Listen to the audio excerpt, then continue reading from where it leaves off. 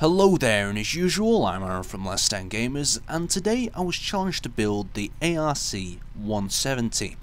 This is, of course, the aggressive reconnaissance vehicle from Star Wars, and it's the replacement for the X-Wing in the Clone Wars series. And basically, this is like a fighter slash bomber in the actual series itself. So it's a three cockpit setup. It's got the driver's seat, or the pilot's seat in this case. It's got the front gunner seat that'll be controlling the torpedoes and the minigun in this case.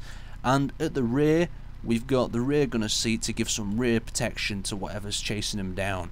So I've built this um, out of a few different parts and I followed it as closely as possible and I'll just show you the scale.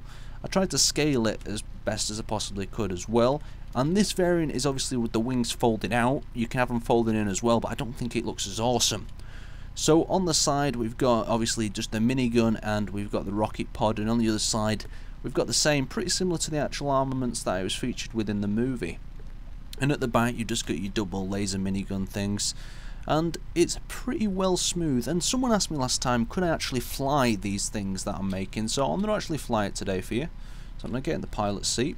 I'm going to take it off. This is of course a recon slash um, bomber craft so it's not going to be the fastest thing.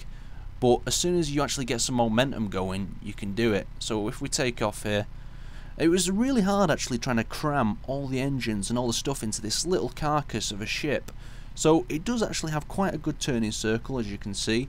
And also you've got quite a bit of power when you catch up. So you can easily take over larger ships and you can actually get quite a bit of velocity out of it.